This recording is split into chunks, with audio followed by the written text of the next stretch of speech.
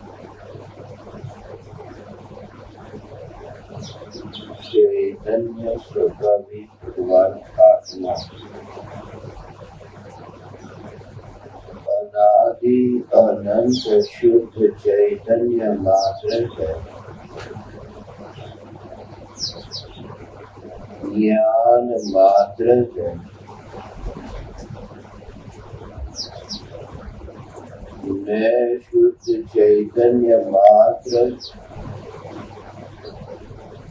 ज्ञान मात्र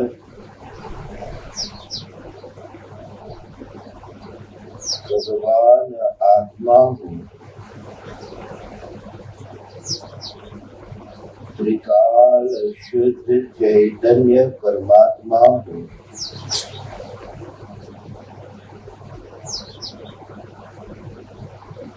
अनंत गुणाधिपति। एक न्यायक देव हूँ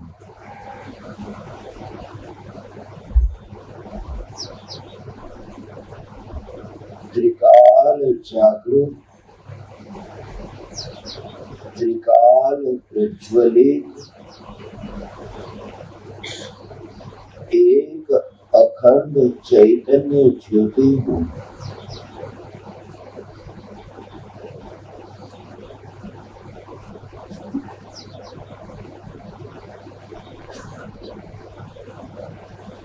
जिस चैतन्य की ध्रुवता से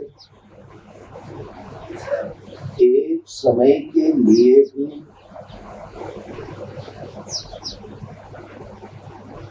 दूर होना होता नहीं और पर प्रभावों का मेरे निकट आना होता नहीं।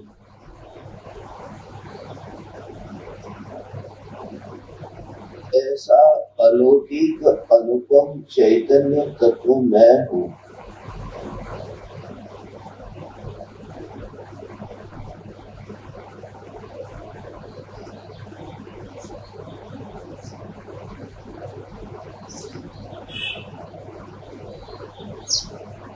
चित्त वाणी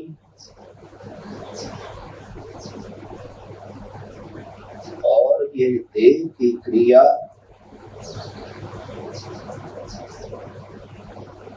जिस ज्ञान की अवस्था में प्रतिबिंबित होती है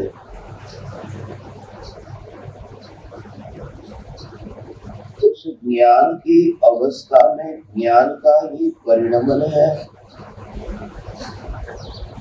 चित्त वाणी और देह का नहीं।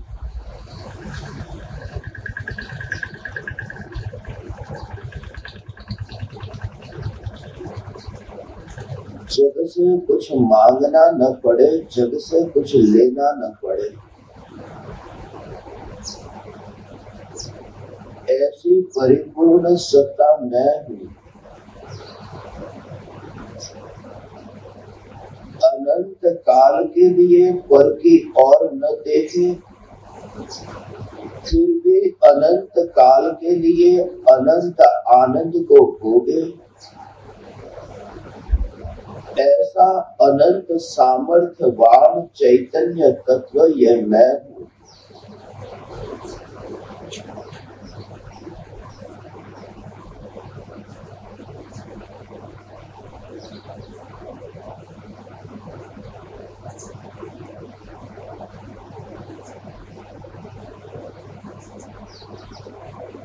देह की अवस्था सिर्फ़ ज्ञान में प्रतिबिंबित तो हो रही है। इस ज्ञान से दूरी न हो।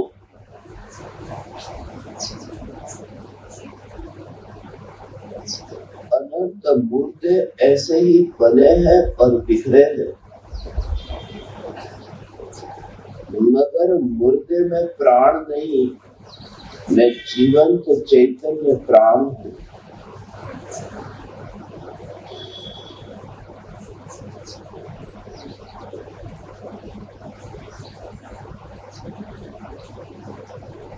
मैं अकंप न्यायक देव हूँ परिणामी चैतन्य तत्व हूँ।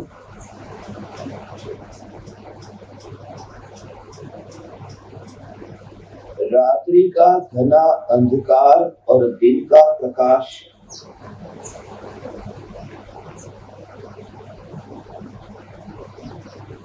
जिस अंधकार और प्रकाश के साथ चैतन्य ज्योति का संबंध नहीं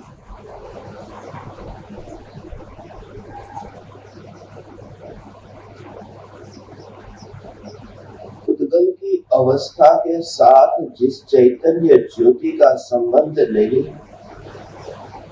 यह ज्ञान मात्र चैतन्य ज्योति में।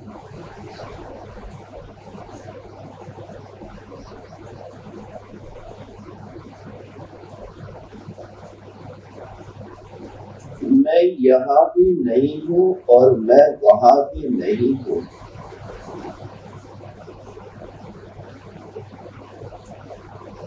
मैं बस यही हूँ यही हूँ।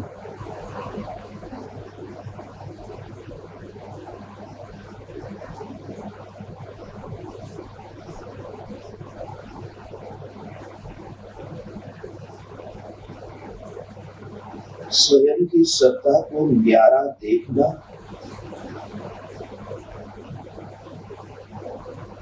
गैर हाजिर होने की कला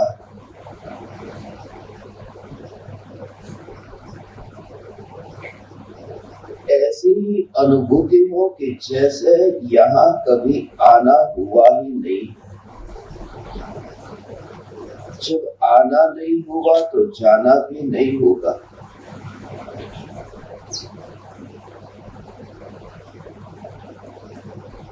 देर में आया हूँ, इसलिए देर से जाऊँगा।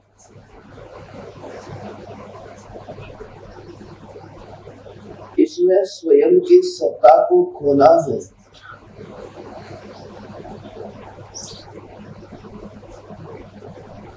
मैं देह में आया ही नहीं हूँ। आया हूँ, यह सबसे बड़ा भ्रम है। मैं देह में आया ही नहीं हूँ। जब देह में ही नहीं आया तो देह की क्रियाओं में कैसे आऊँगा?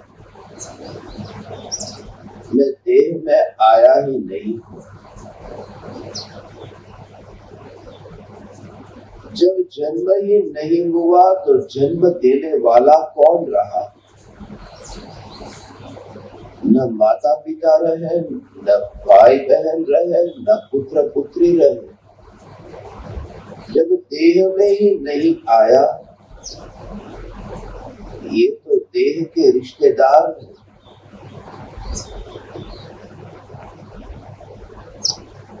जिसका कोई संबंध ही नहीं, ये चैतन्य ज्योति ये मैं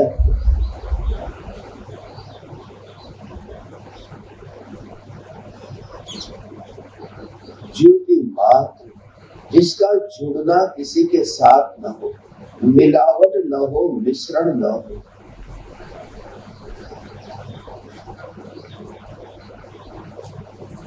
दूध में पानी मिलाना और उसका उपयोग करना, उसका व्यापार करना, यह अपराध दिखता है। मगर यह चैतन्य परमात्मा में देह को मिला करके देखना यह अपराध नहीं लगता। ये जीवंत चैतन्य मूर्ति का अपमान है, जिस मूर्ति को मुर्दे के ऊपर बिठाया है, ये मानता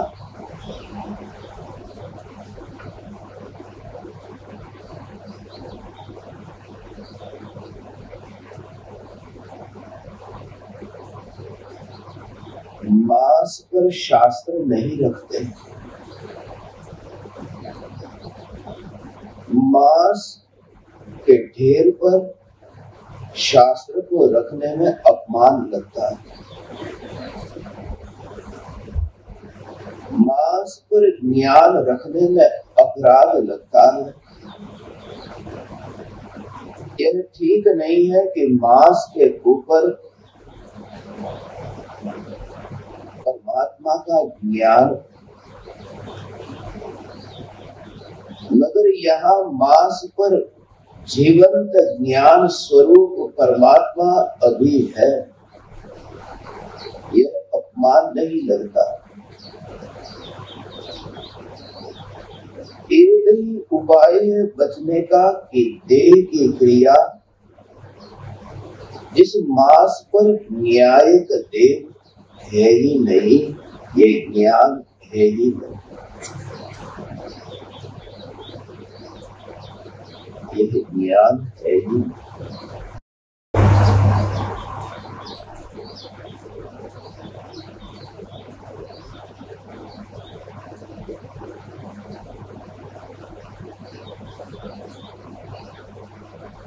इसलिए देह के साथ जो लेटा है, वह देह के साथ उठता विकार के साथ जो लेटा है, वह विकार के साथ उठता है। यदि भीतर में यह चैतन्य की धारा बहती हो, ज्ञान की धारा बहती हो तो देह के साथ होना होगा ही नहीं। निकट आता हुआ न दिखेगा।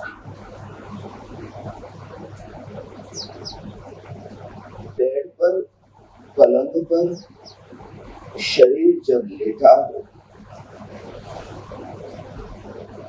और उस दर्पण को उस शरीर के पास आता हुआ न देखा। एक बार दर्पण को दूर से देखे कि जिस दर्पण में यह लेटा हुआ देह प्रतिबिंबित तो हो रहा,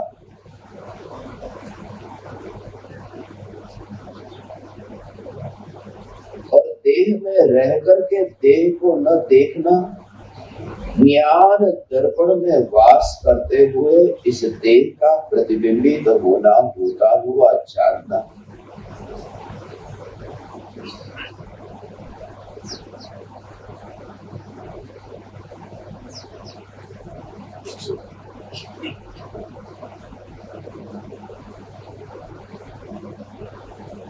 विभाव, विकार के छूटने से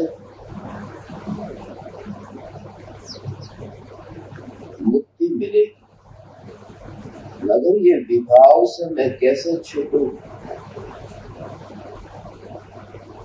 इस भाव में तो विभाव के कीचड़ में ही फंस जाना होता। है सिर्फ़ ज्ञान के घनपिंड की दूरी दिखाई दे। ज्ञान दर्पण की स्वच्छता की दूरी दिखाई दे। स्पर्श होता न दिखाई दे। हल्का और भारी का अनुभव तो होता ही नहीं, क्योंकि वहाँ पुद्गल का अनुभव है।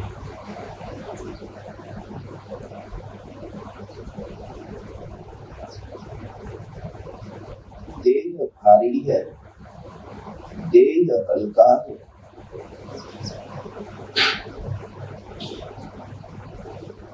देह को जब होता ही नहीं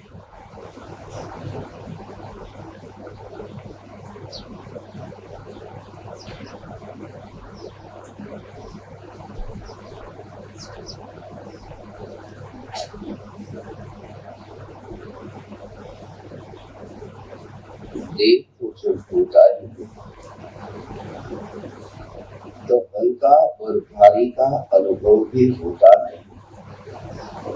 सिर्फ़ जानना जानना जानना जानना जानना, यही अनुभव में आ रहा है। सिर्फ़ ज्ञान अनुभव में आ रहा है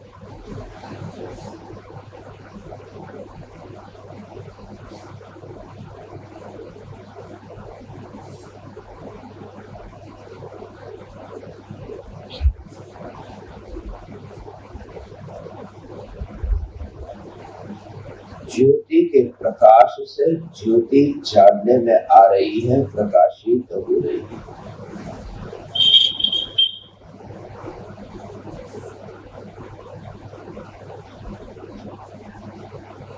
ज्योति ज्योति ज्योति।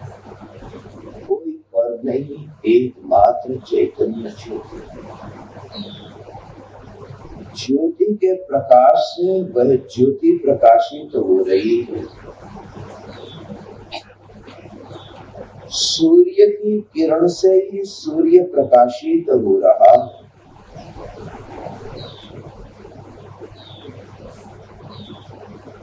हाथ से ही हाथ को धोया जा रहा। है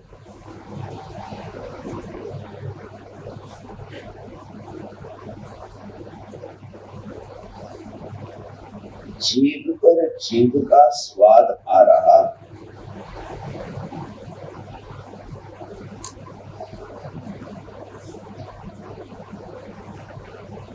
आँख से ही आँख दिखाई दे रही देखने वाला और देखने में आने वाला। इतनी अभेदता की ये ज्ञान ही ज्ञान में जानने में आ रहा है, वहाँ पर की ज़रूरत ही नहीं।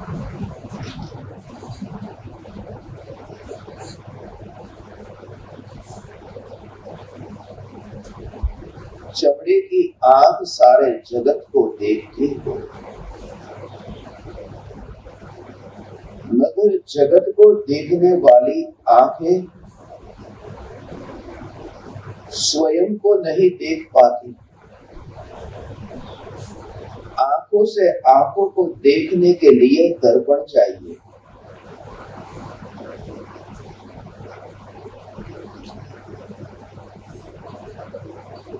ज्ञान सारे जगत को जानता है, स्वयं को ही नहीं जान पाता।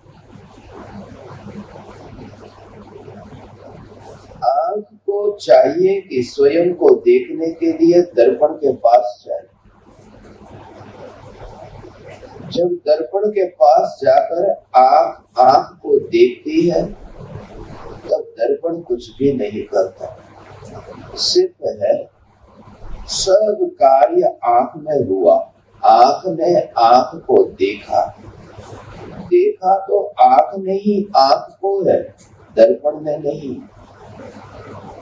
सिर्फ़ निमित्त है दर्पण।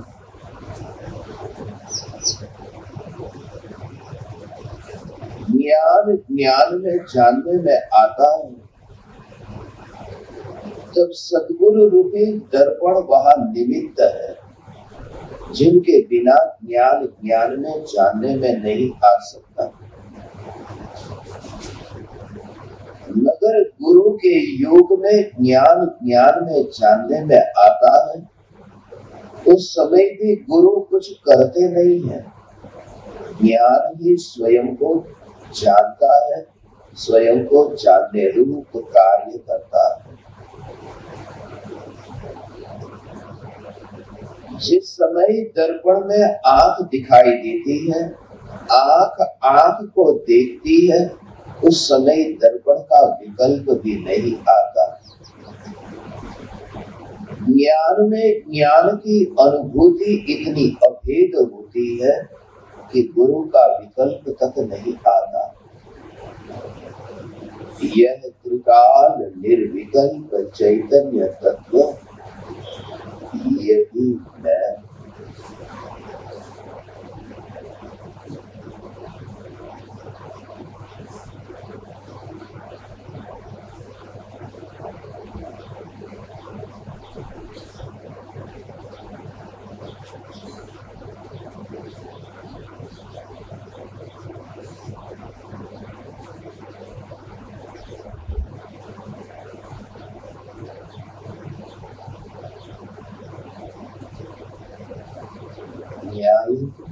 होती है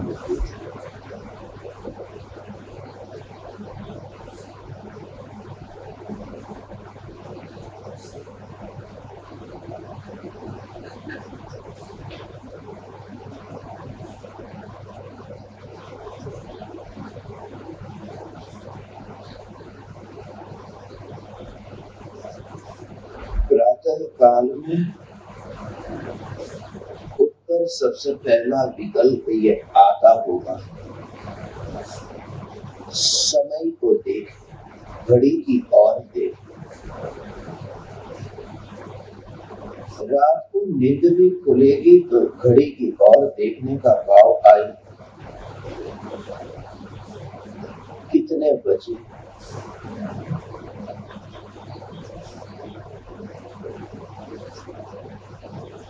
समय की ओर देखने का भाव आने से पहले भीतर में समय सार का स्मरण हुआ या नहीं? काल की अवस्था को तो देखना चाहा, मगर जीव द्रव्य को देखा या नहीं?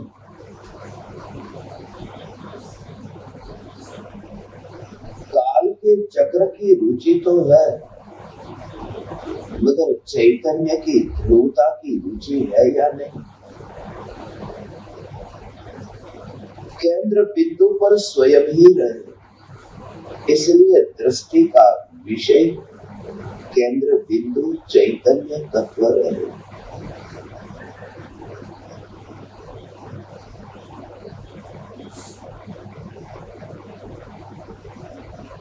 प्रवाह कहाँ तक पहुँचा? ये भाव आए। मगर वहाँ नहीं वहाँ नहीं काल का जो प्रवाह बहता है, वो प्रवाह जानने में आए, मगर मैं किनारे पर हूँ, मैं उस सरिता में नहीं हूँ जहाँ प्रवाह बहता है। प्रवाह प्रवाह प्रवाह जहाँ है, वहाँ मैं हूँ पानी को मैंने छुआ नहीं। उसका प्रमाण यह है कि मैं गीला हुआ नहीं, मैं भीगा नहीं। मेरा पैर भी यदि पानी को छूता तो मैं गीला हो जाता। किनारे से हट करके मैं पानी को छूने भी नहीं गया। तब बहता है उसका विरोध भी नहीं, क्योंकि जहाँ छूने नहीं गया वहाँ बहने को रोकने भी जाने की ज़रूरत नहीं। ऐसी चैतन्य की ध्रुवता का निरालय पद का एहसास हो। दस बजे, ग्यारह बजे, चार पाँच जैसे जैसे समय ये बहता है, काल बहता है।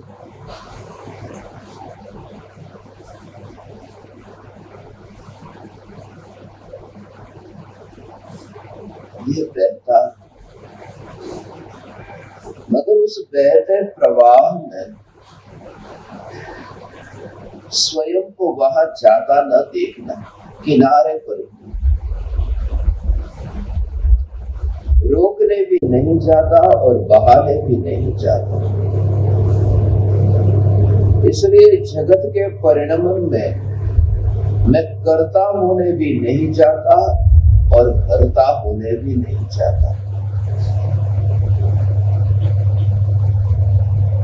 और जग की अवस्था में अब रस न रहा, रुचि न रही। जगत कहेगा कि ये मेरी और ध्यान भी अब नहीं देता। ये मेरी माँ, मेरा बाप, ये रिश्तेदार ये मेरी और देखते भी नहीं। ये अब घर में रुचि नहीं लेते। रिश्तेदारों की भीड़ में अब ये आते नहीं। इन्हें अब स्मशान जैसा ही समाज दिखता है।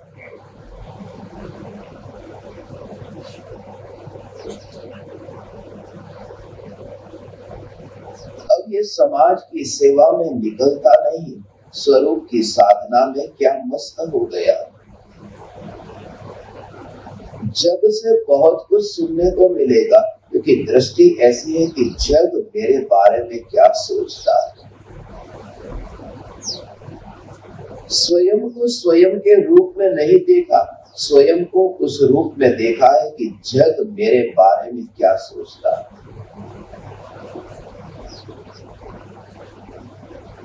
ऐसा अपूर्व साहस कि अब जग क्या सोचता है, उसका विचार अनंत है कल्पनाएँ जगत की।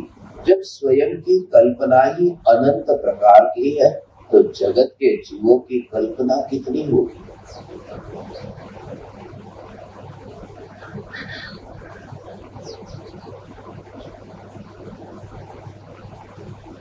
पल भर के लिए मुसाफिरों के विचारों को नज़र में रख करके अनंत काल की मोक्ष की मंजिल का विस्मरण न हो जाए।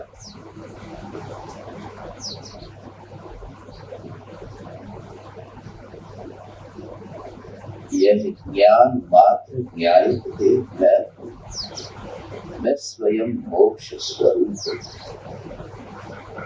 मोक्ष वैरोग्य शुद्धता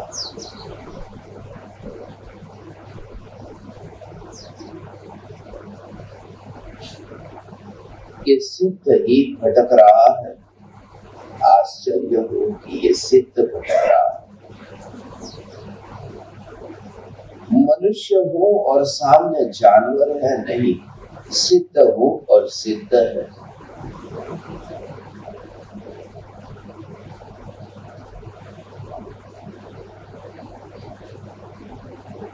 मैं सिद्ध हूँ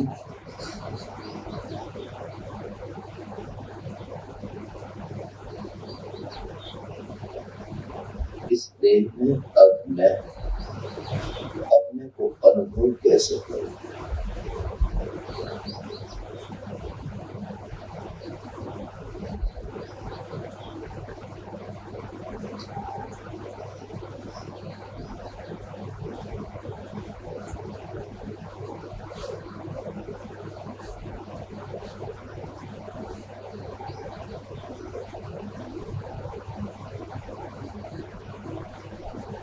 इस पेड़ की छत्र छाया में बैठता नहीं है। इस पेड़ का मोह अब छुट गया है।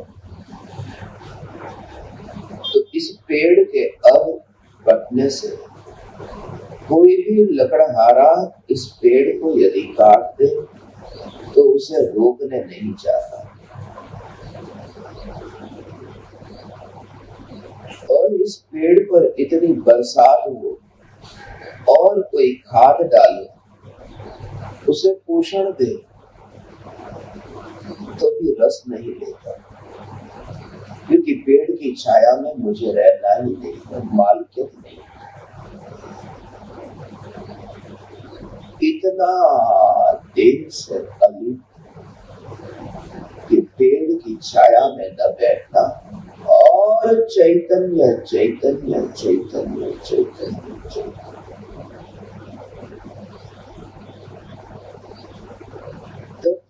ये देह सिर्फ़ गिरे हुए पेड़ की भांति है।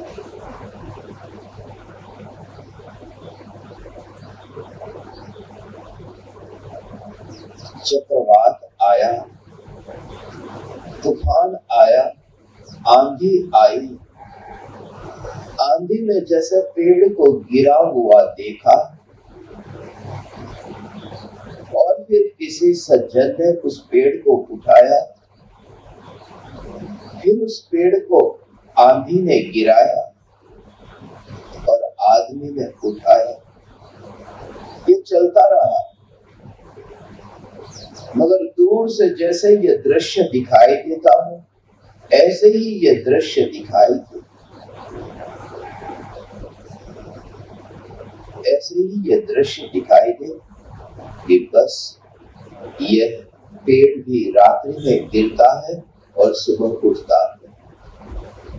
मगर मैं पेड़ की छाया के नीचे नहीं इतना दूर इस देह को देखना रस के भाव के बिना, रुचि के बिना, वहाँ खींचे बिना, अपने में रहे हुए ये जानने में आएगा।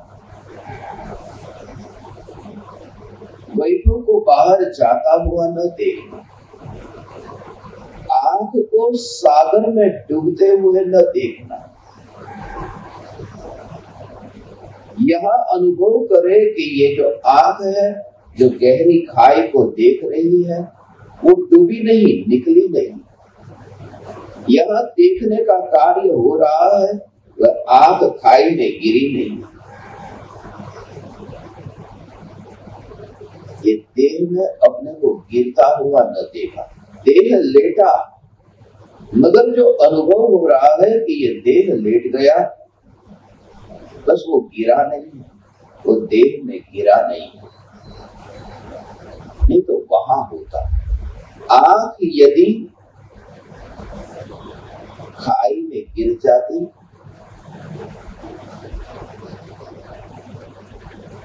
तो खाई के अंदर अनुभव होता कि आँख को कि खाई यहाँ। मगर अनुभव तो यहाँ हो रहा है। और अकेली आँख वस्तु को देखती नहीं है। देह के साथ में अभेद है, ऐसी आँख वस्तु को देखती है। भले आँखें देखती है, मगर देह के साथ रह कर के देखती है।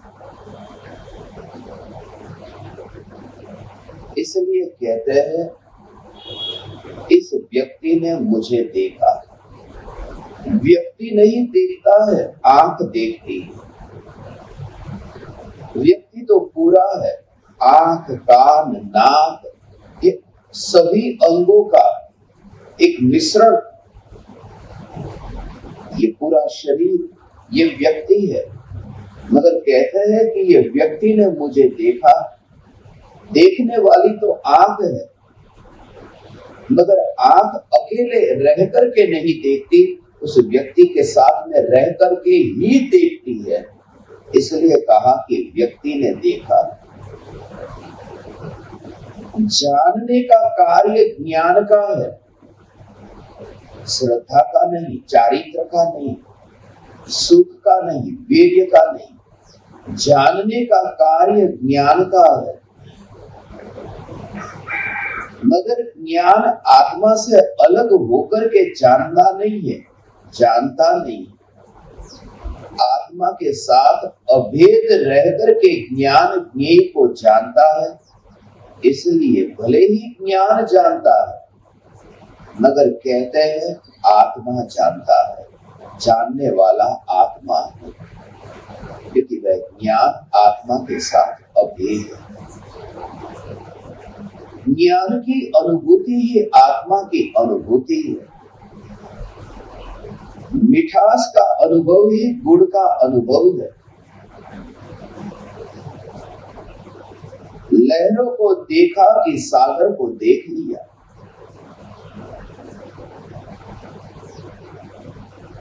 पिताजी की उंगली को पकड़ा कि पिताजी को पकड़ लिया।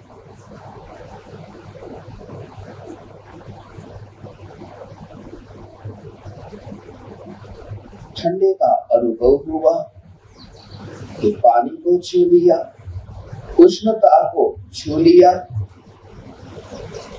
कि अग्नि का स्पर्श हो गया यह ज्ञान की अनुभूति। देह लेटा हो, देह उठा हो, पेड़ के पत्ते की भांति ये दिखाई दे दृश्य।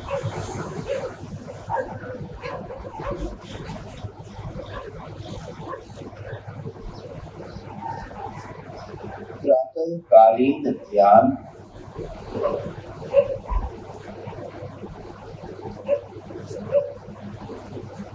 उसके लिए समय नहीं मिलता। इसके बारे में अब थोड़ा जीवन में परिवर्तन लाने की ज़रूरत है। जब कहीं अपन जाते हैं, किसी कार्यक्रम में जाते हैं, या अपनी दैनिक दिनचर्या करते हैं, उसमें पहले से ही अपन खुद ही तैयार करते हैं अपने को। कि विकल्प कितने स्वयं को ही तैयार करते हैं। एक दिन में नहीं हो सकते उतने। लंबे कार्यों की सूची दिमाग में भरकर रखी। एक के बाद दूसरा, दूसरे के बाद तीसरा।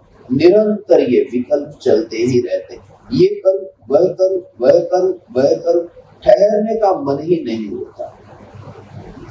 सुबह उठते ही भागते हैं। जैसे दिमाग में इतना कचरा भरा है, यह करो, वह करो, पूरे दिन भर। पर हो नहीं पाता। इसलिए सोता है कि कल हो जाएगा, कल करूँगा। कल कभी आता ही नहीं है। जब भी आता है, आज ही आता है।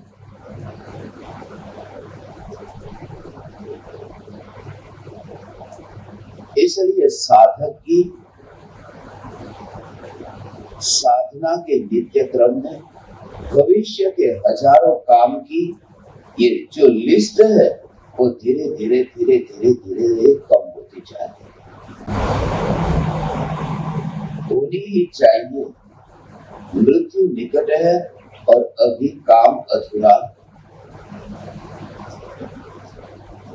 पहले से ही ऐसे कमिटमेंट न करे जिसका पालन करने का सामर्थ्य न हो। ऐसा वचन ही न दे। इसको पालन नहीं कर सकते। बंधे नहीं, कहीं पर भी बंधे नहीं।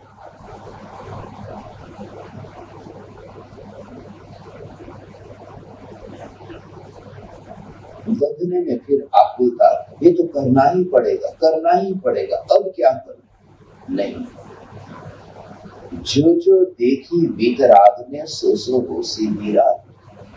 अनहो नींद नहीं होनी होसी काहे होत अधीरा रे।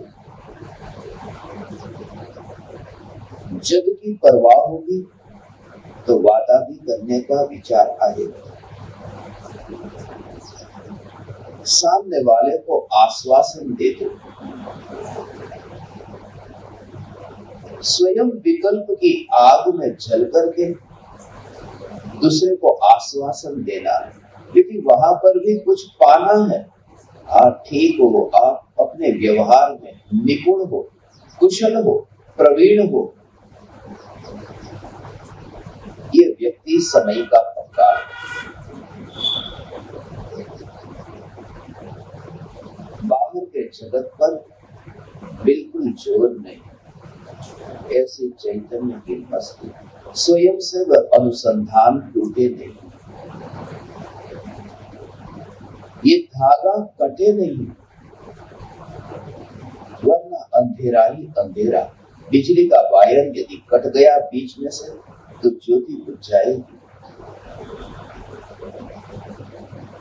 ये धारा टूटे नहीं, कटे नहीं। बीच में ये निरंतर धारा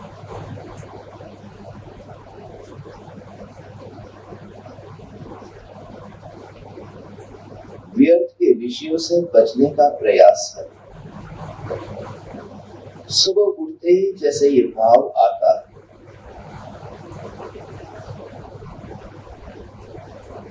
दुनिया में क्या हुआ होगा? पुरुष को भी आता है, स्त्री को भी आता है। स्त्री निकटवर्ती है, पुरुष दूरवर्ती। इसलिए स्त्रियों का ध्यान पड़ोस में जाता है कि पड़ोसन ने क्या किया। उसकी सहेलियों ने क्या किया। वे क्या करते हैं, वहाँ क्या चल रहा है? और पुरुष का चित्त है, वो दूर दूर दूर जाता है। जहाँ कोई लेना देना नहीं, अमेरिका और रशिया के बीच में क्या हो रहा है, लाओ अखबार में पढ़ो। स्त्री नज़दीक का देखती है, दूर का नहीं। पुरुष दूर दूर जाता है, जहाँ कोई लेना देना नहीं। उसे पड़ोसी से कोई पता नहीं कि कौन पड़ोसी क्या करता है। मगर दोनों ही अपने घर के बाहर जा रहे हैं। इसलिए व्यर्थ ये कचरे को अपने दिमाग में न भरने के लिए अप्रयोजनभूत विषयों में अपना समय न गवाना।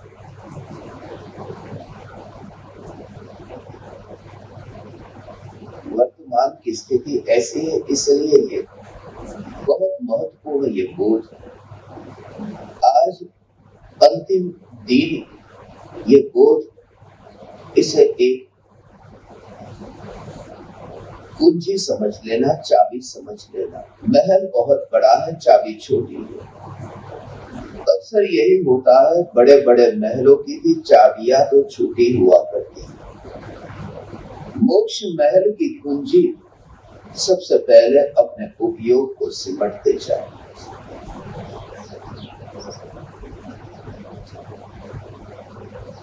उपयोग को सिमटते जाए।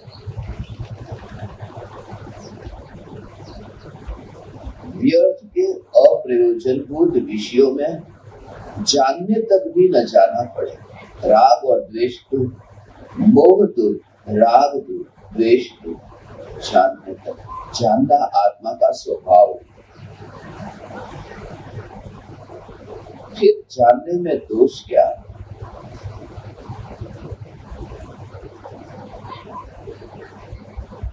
जिस गुरु ने ये कहा कि जानना आत्मा का स्वभाव है, जान। उन कृपालु देव ने ही ये कहा कि जीव की दृष्टि निमित्ताधीन है। तब तक असद निमित्तों से बचना जीव का कर्तव्य है।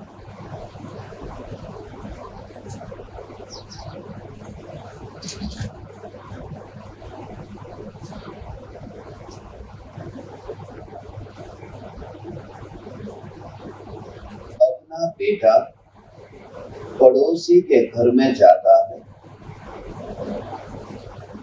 और वहाँ जाकर कांच की वस्तुओं को तोड़ता फोड़ता है। पड़ोसी शिकायत करते हैं कि आपके बेटे ने हमारे घर पर आकर इतनी तोड़ फोड़ की। उसे समझाओ। रोज रोज ये शिकायत आने लगती है। फिर माँ से नहीं रहा गया। और माँ ने अपने बेटे को कहा,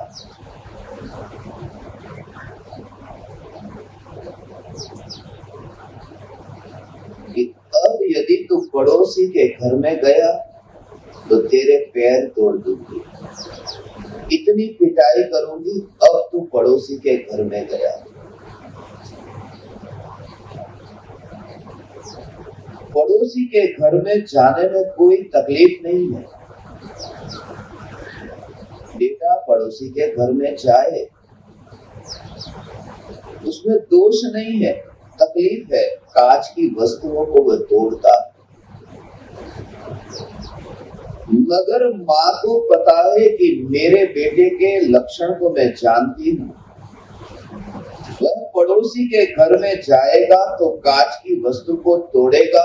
बेहतर यह है कि अपने घर में से बाहर ही न निकले। पर को, जगत को जानने में दोष नहीं है। मगर ज्ञानी को पता है कि यह अज्ञानी पर को जानने जाएगा तो राग और द्वेष की तोड़फोड़ करेगा। इसलिए पहले से ही रोक दिया कि तू पर को जानने भी क्यों जाता है? अपने ही घर में वास कर। इसलिए ये कहा कि उपयोग को फैलाए और अप्रयोजन विषयों को जानने तक ही जाना है और ये देह उसे भी जानने तक मैं जाता नहीं, जानने में आ जाता ये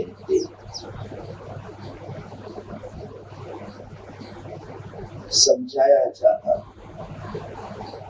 इन दोनों के विवाद के बीच ये बंधन दोनों का है। ये आत्मा का नहीं, ये देह का भी बंधन है। जब एक व्यक्ति किसी दूसरे व्यक्ति का हाथ पकड़ लेता है और कहता है कि मैं तुम्हें छोड़ूँगा नहीं, तुम बंध गए तो वह व्यक्ति अकेला नहीं ये बांधने वाला भी बंध गया, क्योंकि उसे भी दुकान जाना है, जा नहीं सकता। जिसका हाथ पकड़ा है, वह तो बंध गया, मगर पकड़ने वाला भी बंध गया। ये बंधन दोनों का है, आत्मा और देह दोनों का बंधन है। ये संघर्ष दोनों का है, मगर गुरु ने देह को बोध नहीं दिया, आत्मा को बोध दिया। ये दोनों है, मगर देह को तो समझाया ही नहीं। कि तू ऐसे लेट ऐसे बैठ, ऐसे उठ, ऐसे खा, देह को कुछ नहीं कर क्योंकि बच्चा पड़ोसी के बच्चे के साथ में लड़ाई झगड़ा करता है। गली में लड़ाई झगड़ा हो रहा था। एक दूसरे का सिर फूटने की तैयारी थी। माँ गई अपने बेटे को पकड़कर लेकर आई।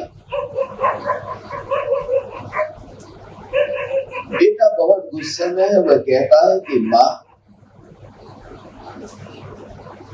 तो मुझे ही कहती है, हर बार सामने वाले को कहती ही नहीं, उसको भी बोलने कुछ। माँ कहती है, बेटा, तू समझदार है, वो समझता नहीं है। जो समझदार है, उसे समझाया जाता है। वापिस लौटा इसलिए ज्ञानी देह को बोध नहीं देते, जो समझता ही नहीं है। समझ का स्वामी आत्मा तू है, इसलिए तुझे समझाकर वापिस बुलाते हैं। आ तो अपने घर में वापिस आ। लौट इसलिए उपयोग पर में अब फैलन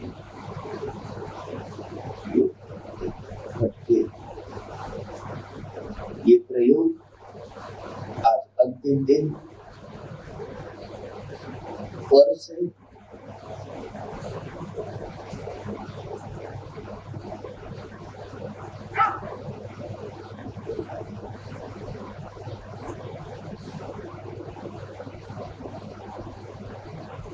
ऐसा एक महीने के बाद में करीब करीब एक महीने के बाद बिल्कुल समझो, आज पाँच तारीख है और कल अपन मिलेंगे। खाली एक महीने का फासला है। पाँच मई से, पाँच पाँच से छ छ का फासला है।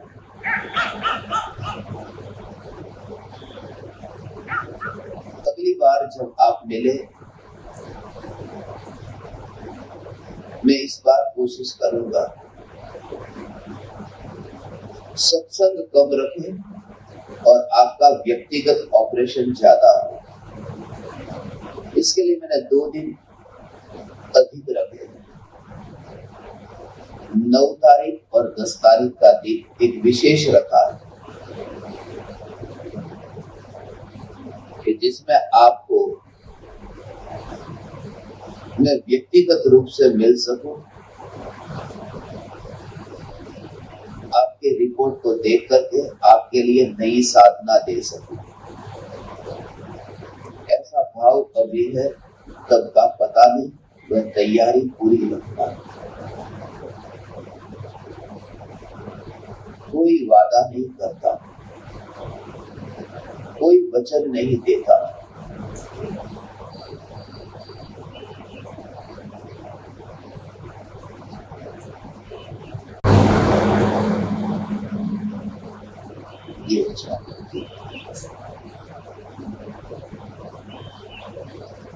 प्रयोजन भूत हो बस उतना ही उपयोग ये धन है ये वैभव है अपना उपयोग पर में ऐसे न खर्च हो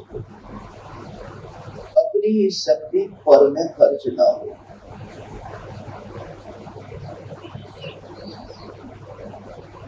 एटीएम मशीन में जैसे कार्ड डाला और पिन डाला ओटीपी डाला और पैसे निकलने शुरू हो गए और तुम चले गए। और कोई पराया उस धन को छीन रहा। ऐसी बेहोशी न हो कि ये ज्ञान, ये उपयोग उपयोग निरंतर अंतर से जानना जानना जानना जानना, ये हो रहा है। मगर टेबल को, कुर्सी को, पर वो ही जानता है। जिसका स्वभाव ये जानना है, वह जानना उसे ही नहीं जानता जिसका स्वभाव है।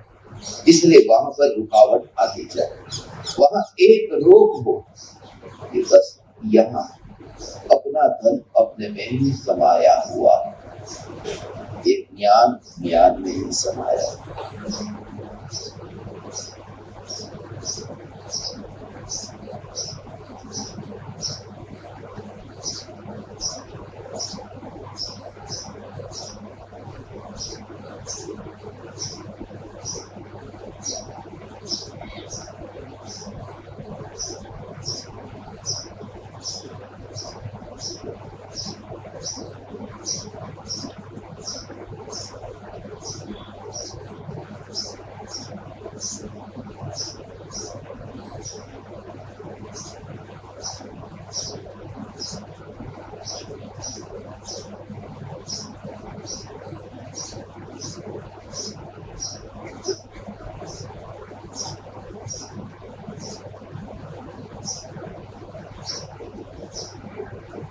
व्यर्थता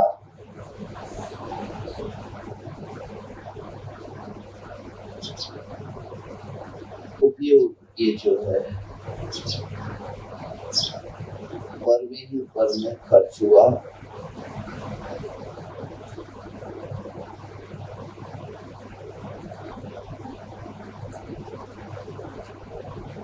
उपयोग उपयोग में समाये ये ध्यान के प्रयोग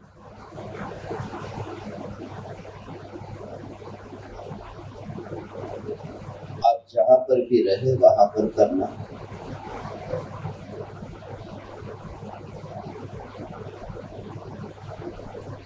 अभी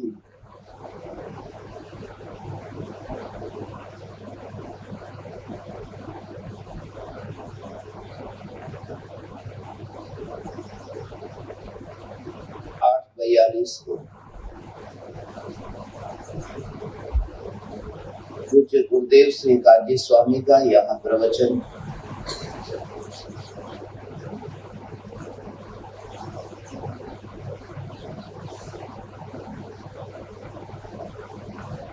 प्रोजेक्टर पर सुनना और उसके बाद नौ बयालीस को जो सत्संग शुरू होगा, वह इस शिविर का अंतिम सत्संग होगा। दोपहर में फिर आत्म सिद्धि शास्त्र का पाठ और चार बजे सत्संग नहीं होगा।